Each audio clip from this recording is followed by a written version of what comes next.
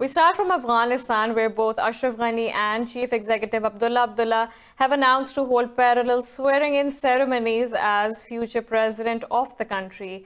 The Election Commission declared Ghani the winner of September 2019 polls five months after the elections amid accusations of electoral fraud. But Abdullah rejected the results, saying he has won the majority and will form an inclusive government.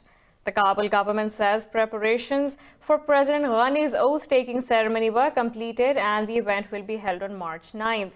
Meanwhile, Abdullah's office says he will assume the role of president on the same day. The oath ceremony was scheduled for last month, but it got delayed after the US expressed concerns that the political turmoil may jeopardize their peace deal with Taliban. Washington has backed Ghani's victory in the elections.